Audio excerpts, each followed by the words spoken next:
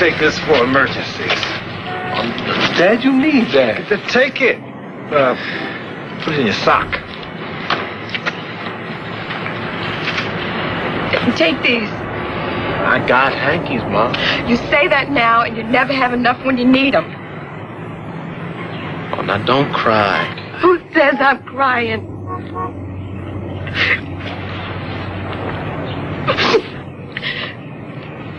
you, you listen to me, young man. You are going over there with our blessing. You have some problem, you wire us.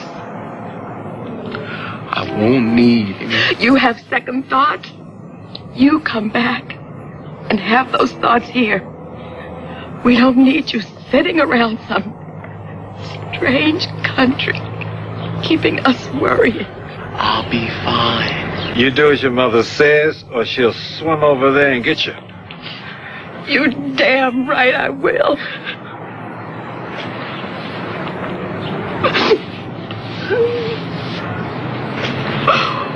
I'll let you know if there's a problem.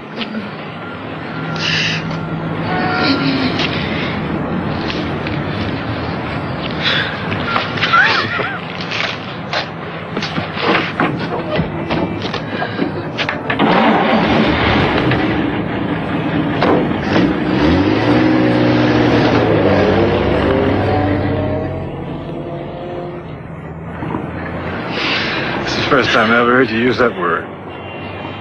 There's a first time for everything, isn't there?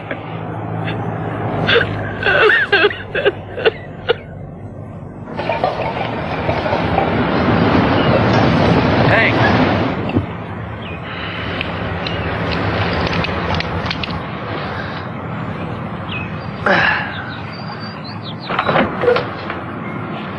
Hey, what are you doing here, Jeff? Well, I was just about to ask you the same question.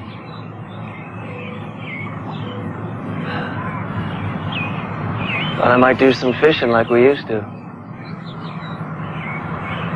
Well, I don't think there are any fish left. The Sloan plant had to discharge during the war upstream. Well, that figures. They should be back someday. The eternal optimist.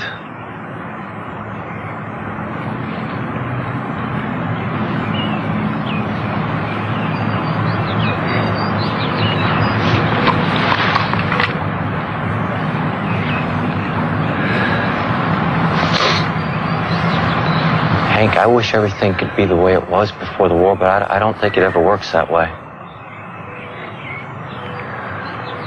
Not just an optimist, but a philosopher, too. You have to admit, e- even if there hadn't been a war, things would have changed.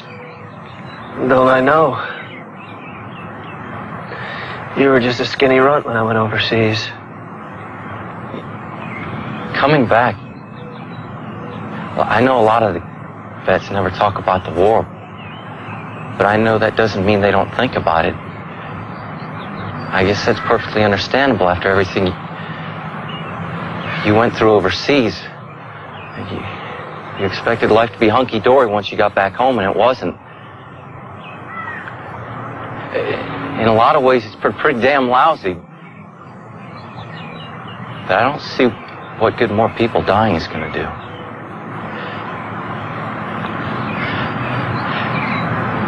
I, I still miss Dad. I always will. I miss Sarah, maybe not as much as you do. You- You're tired of everything going wrong? Well, I'm tired of missing people. I don't want to have to miss you too. Do you remember why we came up here when you first got back? Sarah was having second thoughts and nothing else was the way you planned it or remember it. And the final straw was when you found out Rupert shut down. You couldn't even get a chicken fried steak. You remember? Hank, you remember that? Well, I heard Rupert's just reopened. Rupert, you can get all the chicken fried steak you want, I guess.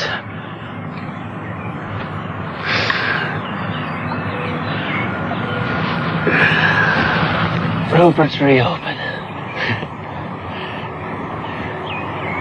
It's something, I guess, huh? Rupert's reopened.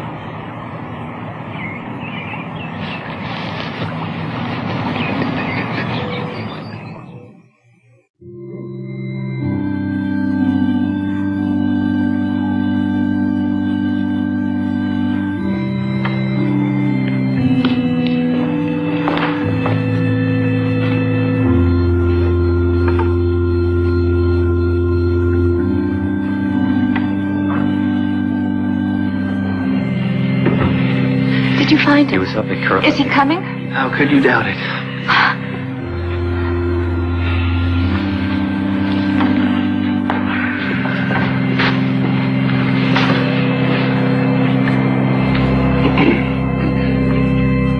Al, wilt thou take Anne, here present, for thy lawful wife, according to the rite of our Holy Mother, the Church? I will. Anne, wilt thou take Al, here present, for thy lawful husband, according to the rite of our Holy Mother, the Church? I will. I'm no small-time jerk. I have to be the biggest jerk in the state. Sounds like you still love her. Sounds like you got bad hearing. It's a bartender's job to say you'll get over her. Oh, yeah? Well, this customer wants to know when. When you meet somebody who'll take your mind off your troubles.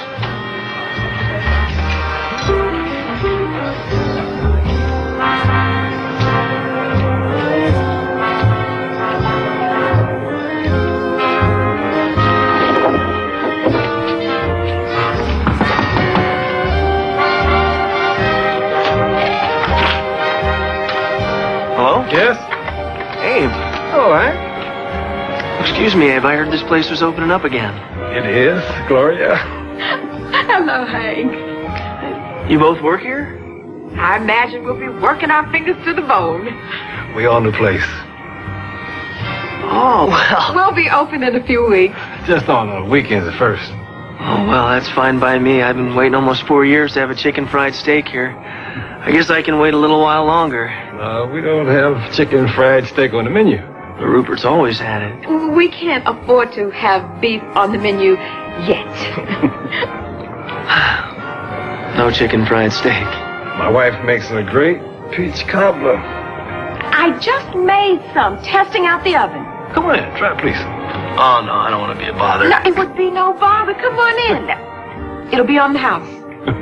You have to let me pay. I couldn't. Yes, you could. This is a business. Abe. It'll be my privilege to be your first paying customer.